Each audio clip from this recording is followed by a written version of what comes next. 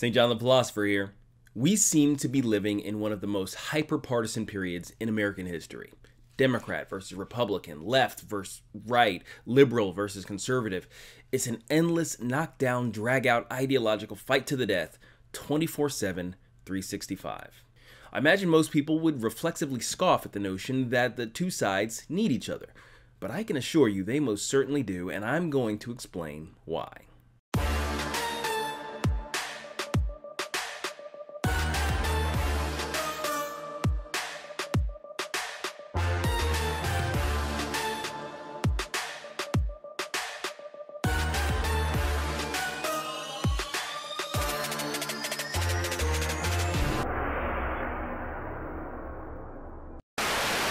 America has just celebrated another Independence Day with speeches commemorating the day. Today, we celebrate our Independence Day. Parades in celebration of the people that safeguard our freedoms. And social media messages calling all of it cynical, self serving, and in service to white supremacy. You might have guessed that the only major difference between this year and, say, a few years ago is who's president. To say America is divided in 2019 is a supreme understatement. Most people I know, myself included, have at least entertained the idea that if only everyone subscribed to their way of thinking, the country and in fact the world would be a better place. Now, that's not entirely false. If everyone held to the same set of universal and transcendent values, at least, we would more easily be able to orient society towards a common ideal state. But in large part, that's not what people are thinking when they wish the other side simply didn't exist. The reality of it is that the world requires people that think differently from each other. Well, a particular kind of different anyway.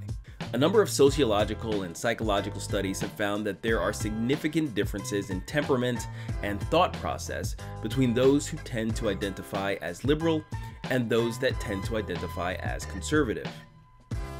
Don't read the articles about them, though. The journalists and pundits that write them often set out to cast their political adversaries in as bad a light as possible, muddying the waters. Sadly, sometimes the academic papers themselves do the same thing. In any case, it's important to note that these studies, like pretty much all sociological studies, don't make absolute determinations about groups of people. It simply makes a comparison of the prevalence of certain traits between those groups. So, for instance, a study says that women like chocolate more than men. It's not saying all women like chocolate, nor is it saying that men don't like chocolate. Do you want a chocolate? I could eat about a million and a half of these. Just that a greater percentage of women like chocolate to a greater degree than men, on average. Life was like a box of chocolates. It's the same thing with these studies of political persuasion and temperament, so please keep that in mind as we go forward. Also, for the purposes of this video, I'm using the word left here, little l, to describe people with liberal political tendencies. I'm not talking about the left, big L, who are trying to destroy the country. That's a video for another time. Okay, so what I found in these studies is that you can generally capture the biggest variances between the two political groups as being those prone to risk taking on the left and those that are risk averse on the right. Again, not that left leaning people can't be risk averse and right leaning aren't risk takers, it's just that one group is more of that than the other on average. Now, if you think about it, you can see both the positives and negatives of these distinct mindsets. Take, for instance, how each would have benefited a tribe of ancient humanity. The risk takers were always trying new things, experimenting, looking towards the horizon for the latest and greatest. And painting is a thing of the past. I call this a snapshot. Oh, let's do it again. I think I blinked. We should move the whole community to the other side of the mountains, they might say. The risk averse, however, seek security and stability. So once they found something good, they want to guard and maintain it. We have food nearby. We have water and material resources right here. If we go over there, we could die, they might say. No, we don't know what's over there. Maybe nothing. It's too risky. As a compromise, they send a small scouting party to see what's on the other side of the mountains. This agreement would accomplish two things. It would establish that there was no way the community would survive a trip across the mountains and the scouting party would discover a material along the way called bronze. Clearly, if the risk taker's notion prevailed, the community would have died in a foolhardy journey in search of a mythical, better place to settle. If only the risk averse got their way, they may never have entered the Bronze Age, and would eventually have been destroyed by the civilization next door that did. Another major difference between liberals and conservatives is that while conservatives tend to be more concerned with social order and justice, liberals tend to be more occupied with social welfare and mercy. Interestingly, it's the combination of these separate sets of priorities that allowed the old feudal systems of Europe to be transformed into representative democracies that balanced, uh, until then unprecedented individual freedom with the widespread safety and stability once thought to be only possible under a powerful monarchy. Modern Western civilization is quite a bit more complex and has a completely different set of challenges than our ancestors, but the basic mentalities of its citizens are still about the same, and still just as important. The modern American conservative is risk averse.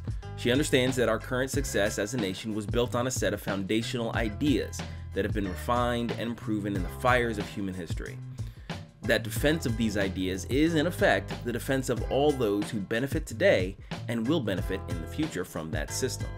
The modern American liberal recognizes the imperfections in our institutions. He sees how people fall through the cracks and is driven to respond through systematic change. He wants to help people. Both of these positions are such that when taken together, they can be a true benefit to everyone. Where we run into some serious trouble is when one position is taken to the complete exclusion of the other.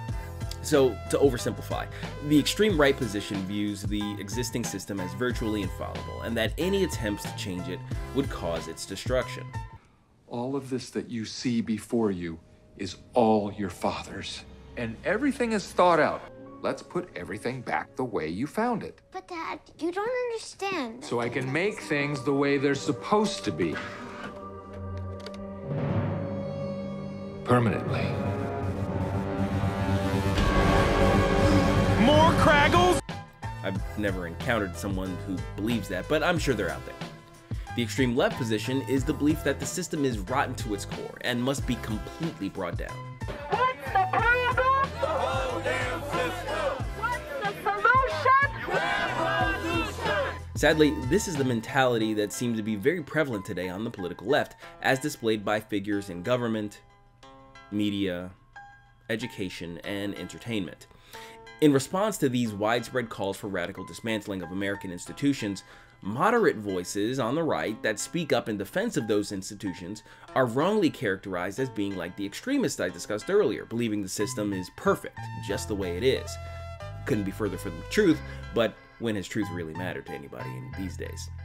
What you get as a result is political tribalism, spiraling hyperbolic rhetoric on social media, and extreme swings in government from one side to the other, as those caught in the middle try to make sense of it all. So, what can we do? Well, for starters, we need to take the primary message of this video to heart. We, liberal, conservative, left, right, whatever you want to call us, we need each other. Your individual perspective of things necessarily has gaps. Your faith in the system may be misplaced in certain areas and your criticism of it may be misinformed.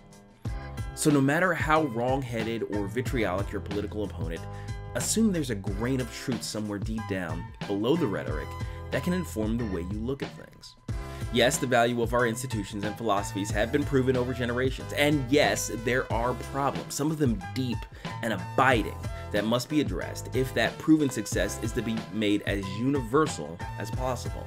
If we approach each other in a way that allows the valid parts of each other's arguments to stand, maybe we can actually have the types of conversations necessary to keep civilization moving in the right direction. Tell me what you think of this video. What do you think about my belief that liberals and conservatives need each other? What will it take to get us to work together? Discuss in the comments. In the meantime, be sure to like, subscribe, and share for more videos on religion, culture, and politics. That's all for today. This is St. John the Philosopher. Goodbye, God bless, and I'll see you in another video.